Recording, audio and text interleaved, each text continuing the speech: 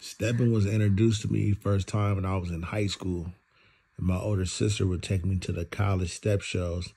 And that's the first time I got to witness the Divine Nine, the Black Greek letter organizations. From that day forward, when I saw them brothers on stage stepping, I knew I was going to college and I knew I was going to pledge. And I knew one day is I'm going to run my own step team. And it all came to pass. Shout out to my sister, Maya Hardy. Appreciate you.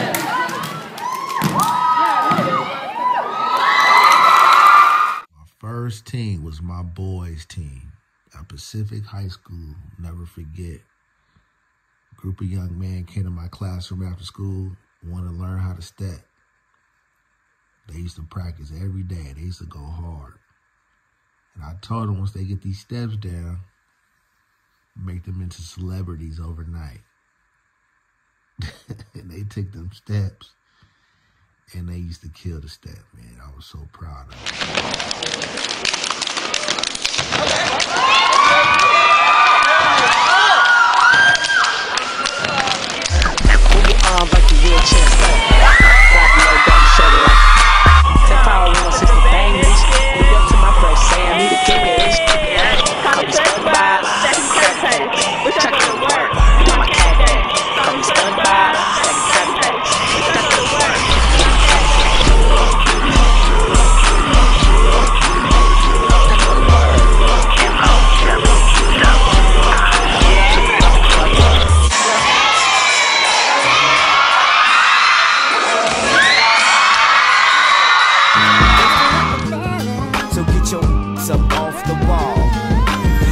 around the world digital underground Pac. The Rudolph the red-nosed reindeer of the rock. I take my chain, my 15 seconds of fame, and come back next year with the whole game. Ain't nobody expect Kanye to end up on top. They expected that college dropout to drop and it flop.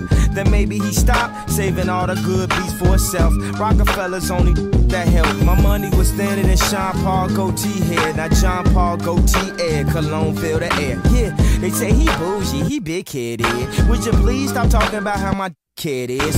Flow infectious, give me 10 seconds. I have a buzz bigger than insects in Texas. It's funny how wasn't nobody interested. To the night I almost killed myself in Lexus. Now I am.